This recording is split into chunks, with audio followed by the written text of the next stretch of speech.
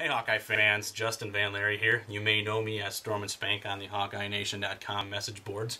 Here to talk to you about the season opener for the Iowa Hawkeyes men's basketball team.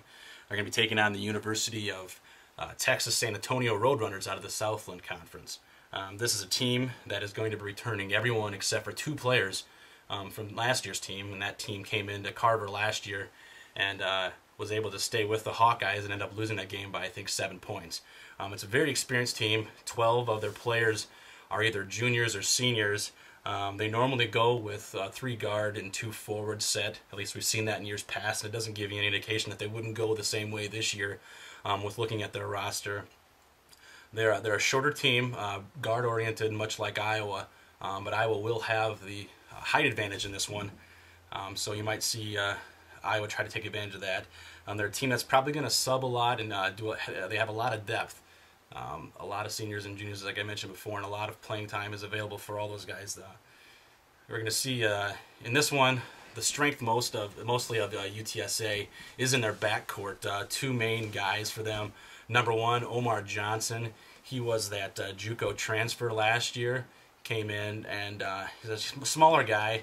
Um, runs about five seven and 150 pounds. So if Cully's on him, I mean he's going to have a 50 pound and half foot advantage on Omar Johnson. But uh, he's a quick guy. Um, last year, I think he put up something like 17 points on his three for four and three point range, uh, five assists, only one turnover.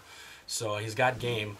Um, the other guy to look at in the backcourt would be uh, Devin Gibson. He was uh, two years ago. He set he led the nation uh, in steals. So that's only the third time in the history of the NCAA that that's happened. Um, I think he picked off uh, five steals from us last year. Didn't have a great game offensively, but definitely a defensive presence. And for that fact, both of these guards um, will bring a lot as far as the defensive side. Other than that, uh, Iowa, the key for their for them today, you're going to see them try to get to the line. Last year, this game was won at the free throw line. If you remember, Jermain Davis hit 10 out of 10 free throws to seal it for Iowa. Um, other than that, you're going to want to see Iowa try to use the outside shot to open up the inside, sort of like in football, how you see the the run set up the pass. We'll try to see if uh, the outside shot from uh, Tucker or Bawinkel ends up opening the inside for Cole and Fuller and uh, and Kugel. Um, the bigs will also be important today to try to stop second chance points for the Roadrunners. Um, rebounding will be key. I think we'll see a lot of uh, Hawkeyes in the glass today. You'll see Fuller um, as well as Cole and Kugel on the glass, and uh, Gaines will uh, also help in that regard as well. So I think uh, prediction, if I had to go with one, I think uh, it's going to be a close game. I really think uh, Iowa is going to see something that you've seen probably the same thing in the exhibition game against Marion. Um, not a lot of pounding down low. I hope they do, but I don't think we're going to see that this early on.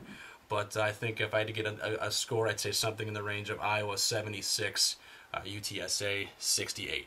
So should be a good game tonight. Uh, if the three pointers are falling for Iowa, we could see a sizable lead, but uh, without knowing for sure, we'll have to go with a, a moderate uh, prediction there. So go Hawks.